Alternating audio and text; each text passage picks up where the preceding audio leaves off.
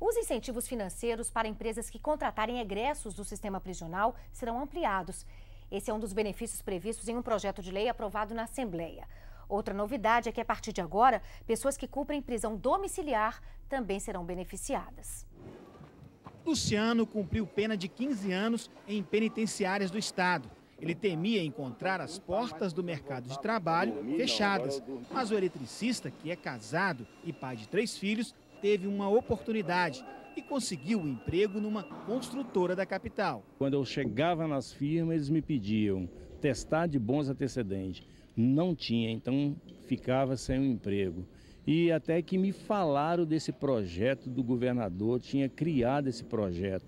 Além de Luciano, outros 28 funcionários da construtora deixaram recentemente penitenciárias mineiras.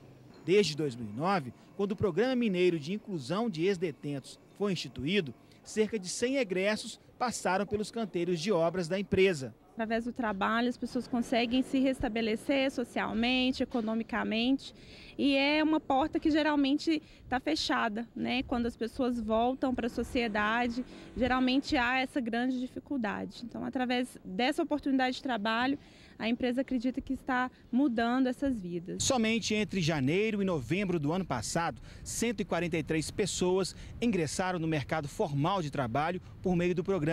Mas um projeto de lei aprovado pela Assembleia promete incentivar ainda mais a participação das empresas. As firmas passarão a receber do governo estadual uma ajuda de seis salários mínimos a cada três meses por carteira assinada. Antes, o repasse era de dois salários por trimestre.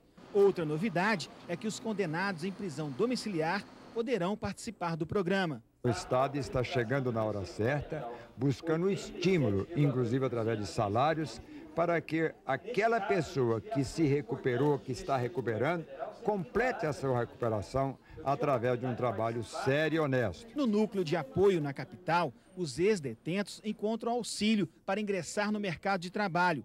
Segundo a gerente do programa, o egresso contratado também tem o desenvolvimento profissional acompanhado de perto. Encaminhamento para algum curso de qualificação, a retomada, né, a, complementa a complementação do estudo. Os encaminhamentos também, eles se dão em parceria com a rede de proteção dos municípios. Então, o programa hoje está em Belo Horizonte, na região metropolitana e em alguns municípios do interior.